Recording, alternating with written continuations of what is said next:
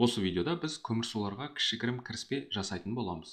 Сіздер бұл ұғыммен таныс та болуларыңыз мүмкін. Мысалы әдетте тағам қаптамалары сыртында оның құрамы мен құндылығы жазылады. Сол тізім арасынан көмірсудың қандай да бір мөлшерге арналған граммдық көрсеткіштерін көруге болады. Әрине бұл барлық көмірсу түрлерін жеуге жарамды деп айтуға келмес дегенмен олардың көбісін жеуге болады. Тіпті біз жейтін көптеген тағамдардың құрамында да белгілі мөлшердегі көмірсу компоненттері де кездеседі. Ал енді көмірсу дегеніміз не? Осыған нақтырақ тоқталып өтелік. Көмірсу деген атауға қарап ақ біз оның көмірден және судан тұратындығын бірден түсінеміз. Және бұл түсінігіміз дұрыс деп айтуға да толығымен болады. Себебі көмірсу шынымен де көміртек пен судың қосындысы. Мына жерде ең қарапайым көмірсу молекуласы көрсетілген. Бұл глюкоза молекуласы деп аталады. Көріп тұрғаныңыздай молекулада сұр түспен белгіленген алты көміртек бар. Ал су деген бөлігіне келер болсақ молекуладағы оттектің сутекке қатынасы дәл су молекуласындағы оттектің сутекке қатынасына сай келеді. Яғни әрбір оттекке екі сутектен келеді. Және мұны мына суреттерден көріп тұрған шығарсыздар. Мына жерде 1 2 3 4 5 6 оттегі және одан екі есе көп яғни 12 сутегі бар. Сонымен көмірсу сөзінің қайдан шыққанын білдік. Енді кейде көмірсу сөзінің орнынан қолданылатын сахарид сөзіне тоқталайықшы. Сахарид сөзі грек тілінен аударғанда тәтті дегенді білдіреді. Және мұның бұлай аталуының өзіндік себебі бар. Егер сіз глюкозаның дәмін татып көрсеңіз тәтті дәмді сезесіз сонымен қоса глюкоза сынды молекулаларға қатысты тағы бір қызықты жайт. Глюкоза жеке молекула ретінде біздің жағдайда өте қарапайым қант ретінде немесе басқа күрделі ә, заттар құрамында құрылымдық бірлік ретінде де кездесе алады. Мысалы мына жерде күрделі гликоген молекуласының бір бөлігі көрсетілген. Және өздеріңіз көріп тұрғандарыңыздай бұл молекулалар жай ғана қайталанған қарапайым глюкоза молекулаларының тізбегінен тұрады.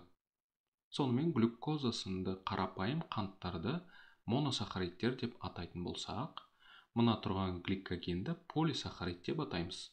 Немесе басқаша глюкозаны гликогеннің құрылымдық бөлігі негізгі құраушы бірлігі деп қарастыруға да болады.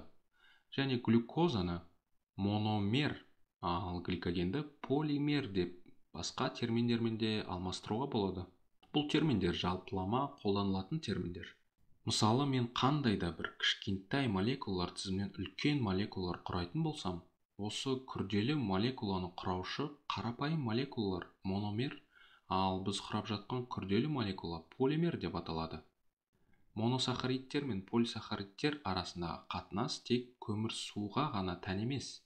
Біз дәл осындай ара қатынасты алдағы уақытта амин қышқылдары мен ақуыз арасынан да көретін боламыз. Енді көмірсудың биологиялық жүйе ішінде атқаратын қызмет және маңыздылығына тоқталып өтсек. Негізінен сахаридтер мен көмірсулар көбіне негізгі энергия көзі болып саналады. Глюкоза биологиялық жасушада энергияға өте тез айнала алады. Ал гликоген болса сіздің бауырыңыз бен бұлшықеттеріңізде жинақталатын энергия қоры болып табылады. Осы тұста естеріңізге сала кетейін.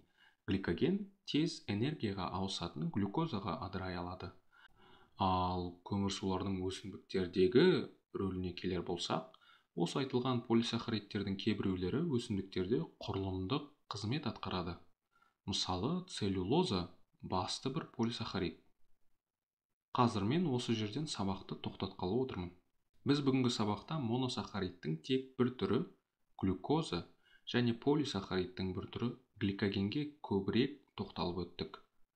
Біз болашақта глюкозаны көп деп кездестіруіміз мүмкін. Дегенмен моносахаридтің басқа да көп түрлері бар.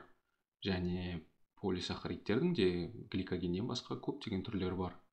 Ал полисахаридтердің өзі макромолекулалар деп аталатын көлемді молекулалардың бір бөлігі макромолекула сөзіндегі макро префиксінен оның көп жағдайда мыңдаған атомдардан тұратын үлкен молекулаларды меңзеп тұрғаны бірден түсінуге болады. Әрине қате түсініп қалмаңыздар бұлар атомдық деңгейде өте үлкен болғанымен бұл заттар әрқайсысы әлі де атом екенін ұмытпауымыз қажет. Және полисахаридтерді қоса алғанда тіпті ең үлкен макромолекуланы көру үшін бізге өте өте мықты микроскоп қажет.